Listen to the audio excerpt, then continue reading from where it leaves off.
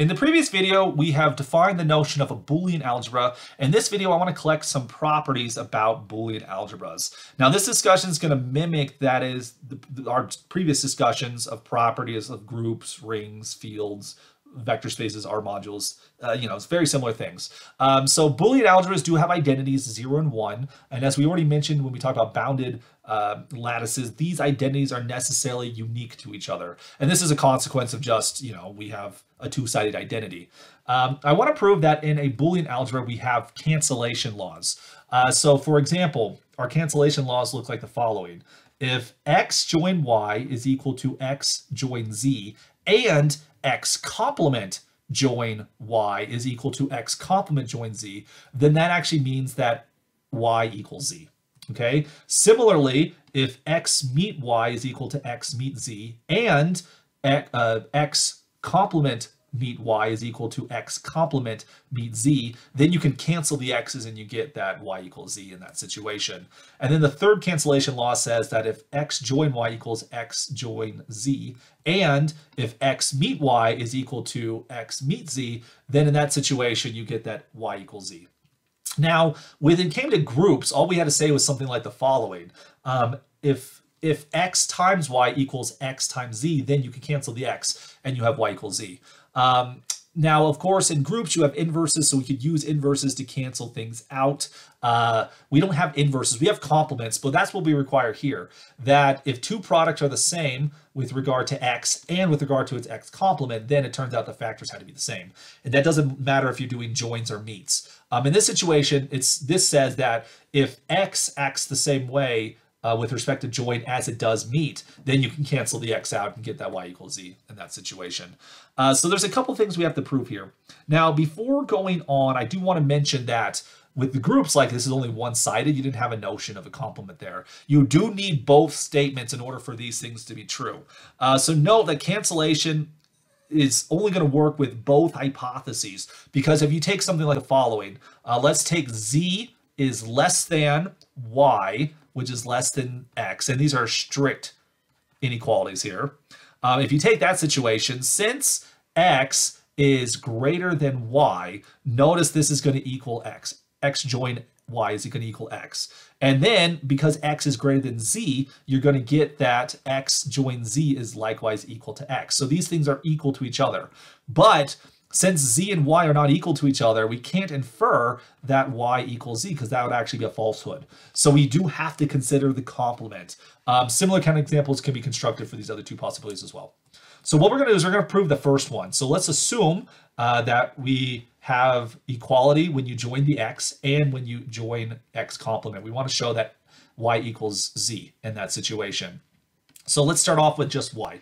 y equals 0 join y because 0 is the, the join identity. Um, well, since this is the join identity, we can use complements. The join identity 0 is equal to x meet x complement. It's, again, it's kind of like an inverse, but it's backwards in this situation. Um, the complements combined to give you the dominant element, not the identity element. So 0 is equal to x join um, x complement excuse me, x meet x complement, join y like so. For which now we're going to distribute, we're going to distribute join across meet. So this becomes x join y meet x complement join y. But by our assumptions, x join y is x join z, and x prime join y is the same thing as x prime join z. For which then, uh, since we have z in the left and the right factor, we can factor it out by the distributive laws. So we get x join x prime um, meet z, uh, excuse me, x meet x prime join z in that situation. Well, x meet x prime, since they're complements, that's going to give you 0. 0 join z gives you back z. And so that proves the first cancellation law uh, that was then here. So you do need the complements. Um, so we took care of that one. Now the second one, I don't need to provide a proof for it because the second one is the dual statement of the first one. So take the proof we just saw, take its dual, and boom, that's the proof of the second one. Now the third one here is actually a so-called self-dual statement.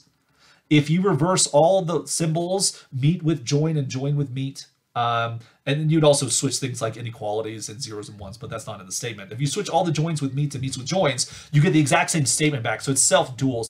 Now, since this is a self-dual statement, we have to prove it because it's not the dual of anything else other than itself. So we'll, we'll provide, it'll be a very similar proof to what we just saw. So let's come down and take a look at what that looks like. So we want to prove that y equals z. So we're going to start with y and then end up, end up with the z. Uh, so what we have here is that y, of course, is the element we're starting with. And so then I claim that this equals y join x meet y. And this is a consequence of the absorption uh, property there, right? Um, I also use some commutativity going on there. So, because absorption is like y join y meet x is equal to y, and then I swap the order of these things. Took some liberty there, but absorption commutativity gives us this one right here. Um, then by assumption, right, x meet y is equal to x meet z. So I make that substitution right there. Uh, the next thing we're going to do is then we're going to distribute y uh, y in this situation. So this is going to then give us y join x meet y join z, for which in the second case by commutativity, we can swap these things around.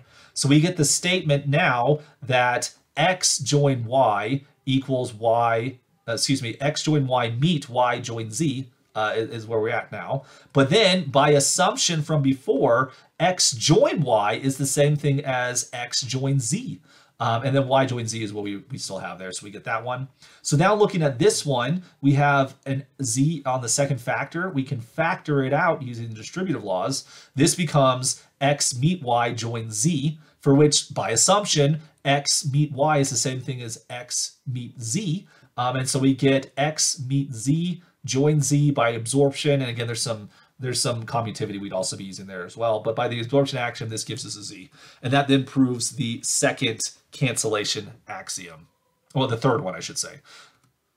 All right, a few other properties. This one's a lot easier to do. A few other properties of Boolean algebras I want to establish in this video before we end lecture 38. Um, if x is an element inside of a Boolean algebra, then its complement is unique.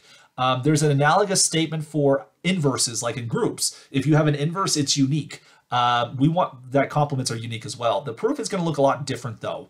Um, so what we're going to do is suppose that we have two different complements for an element x. So let's say that x prime and not x are two different complements. Well, if x prime is a complement of x, that means that x join x prime is equal to 0 and x meet x prime is equal to 1.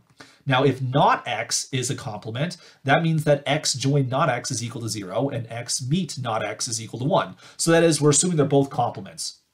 All right, so notice by assumption, x join x prime is equal to 0, but x join not x is also equal to 0. So we get that. Those two, these two things in particular are equal to each other. Uh, I'm going to write that to the side. x join x prime is equal to x join not x. But also, x meet x prime is equal to 1. Uh, so we get this, but x meet not x is equal to 1, so we get this one as well. So in particular, these elements are equal to each other. We get that x meet x prime is equal to x meet not x. So then by the cancellation law, the third one in particular, the one we just proved, uh, we can cancel the x's and get that x prime equals not x. So two different complements for the same element actually have to be equal to each other. So complements are in fact equal to each other.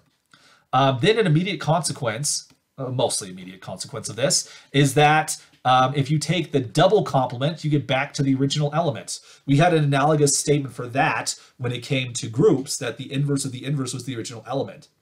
And the proof of that is going to be the same proof here, that you use uniqueness. Um, so if you walk like a complement and you quack like a complement, you have to be a complement. So I want to show that x is a complement for x prime, and therefore the double complement would have to be x. Okay, so compare what happens here. So by assumption, x prime join x is equal to x join x prime, which is equal to 0, and x prime meet x is equal to x meet x prime, which equals to 1. So x is acting like a complement of x prime. And by uniqueness of complements, that means x has to be a complement of x prime, so that we get that the complement of the complement was equal to the original element as well.